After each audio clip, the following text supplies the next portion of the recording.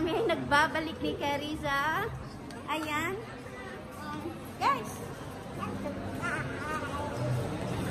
Dito kami sa mall kasi naghahanap ako ng maisusuot para sa tour namin bukas which is Saturday. So today is Friday. So tomorrow is Saturday and meron kaming sunflower farm tour. So abangan nyo rin yan guys. Uh. Bring you up. Maghahanap ako ng twinning twinning. Ang hirap maghanap ng twinning dito. Ayan, pasok tayo sa Zara.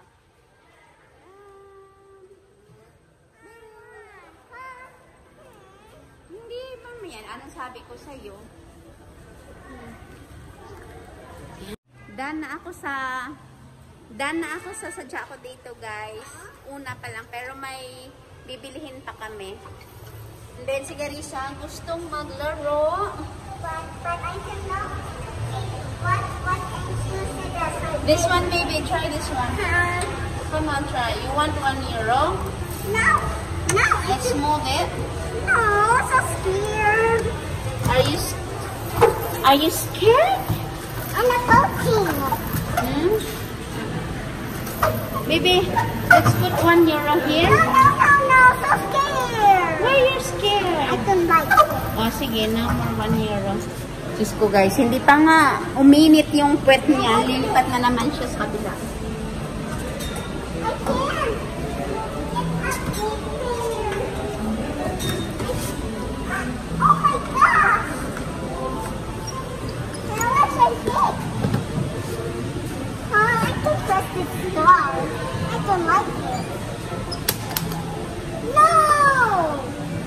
One euro? No, no, no. Ba't ayaw mong gumalaw yung car? Uh, no, there's some stuff. Mm, uh, what can take? Oh, let's go na. Bababa muna tayo, tapos another play doon sa kabila. Punta muna kami sa H&M guys. Kasi na, sa Zara, naibalik ko na yung items na gusto kong ibalik. And yung money, binigay nila sa... Ay, nak! Mali! Sa taas pala tayo. Wala tayong car na. Naligaw kami. Nandito kami sa car park. Wala naman kaming kotse. Mahirap lang po kami dito sa Madrid. Wala kaming car. Kaya sa lahat ng mga humihingi ng donasyon sa akin, pasensya na wala akong perang extra talaga. Kung meron man, mauna muna sa pamilya ko.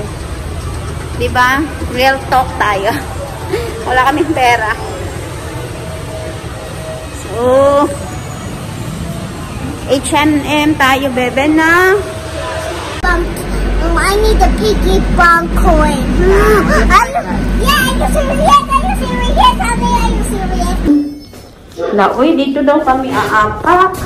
Yeah, you're wrong. Ang No, wrong my daw. hand stand like this. Hmm.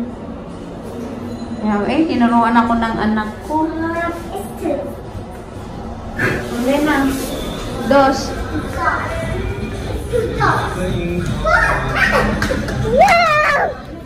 O, dali na. maybe I'm the better boy.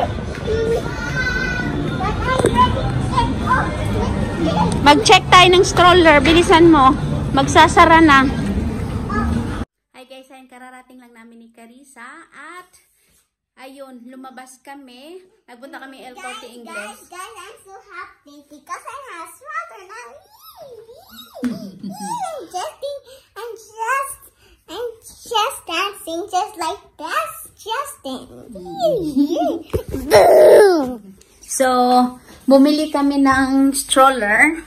Bagong stroller niya guys.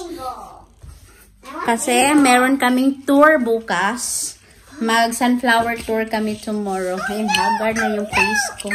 So, yung bili ko nito guys, hawakan mo anak ko.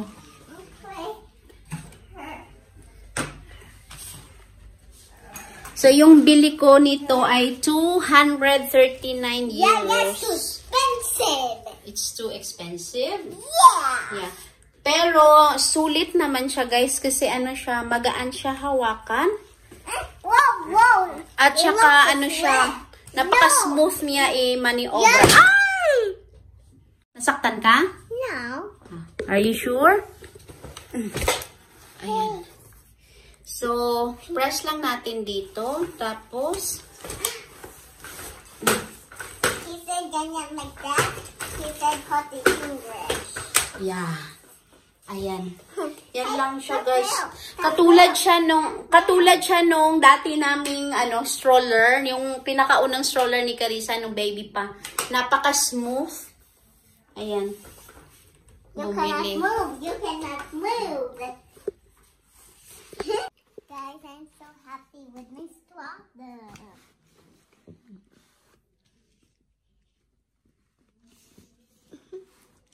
Are you ready? Yes! Okay. Gusto mo gam gagamitin natin tong new stroller mo? Yo, it looks so big. So big? Yeah, yeah, yeah, yeah. The sunflowers is is so little bit is one thousand and Kuya Alsang and Ryan in his there and at the cherry she's there. Hmm. Kaya ako bumili ng bago guys kasi yung dati kasi ano siya mabigat. Mabigat siya buhatin. Hindi pwede sa akin magbuhat ng mabigat. Ito light lang siya guys. So napaka-light Guys, lang look niya. at me. I it. Look. Ayan. So, ito ang dahilan kung bakit kami nakarating ng El Corte Inglés sa Puerta del Sol. At yun din ang dahilan kung bakit na, nasilip namin si Jollibee. Kasi viral ang Jollibee sa Madrid. Kasi ang dami talagang nag-aantay kay Jollibee last year pa. Since nagka-pandemic, ayan, na-push through na ngayon. Totoo na talaga siya dahil nagpakita na yung logo niya doon sa Cali Arenal 4. So, sinilip namin kanina after namin bumili nito, stroller, wala na. Tinakpan na yung logo. Hindi, ko na, hindi na namin nakita ni Carissa. Tapos, meron din mag-asawa nagpunta kasabayan namin doon para silipin si Jollibee. Wala. Hindi na nila nakita. So, that's it for today, guys. Ah, magpapaalam kami kasi mag-prepare pa ako para sa tour namin bukas. Guys, guys, I installed it. Look at me. Are you happy? Yeah, yeah. Yeah. Kasi ang lalaki na ng muscles ni Carissa, eh, na-realize ko, hindi pa talaga siya pwedeng maglakad ng Yeah, look- katulad ko look, kasi, Look, my yeah, yeah, guys. yeah, may da, yayay daw siya. Yeah, guys. yeah, yeah, yeah. um, The boy he pushed me. Mo, ba't hindi ka nagsumbong kay mami? I will, yeah, yeah, yeah. yeah, yeah, yeah. so, paalam na kami, guys. See you on our next vlog. Bye-bye.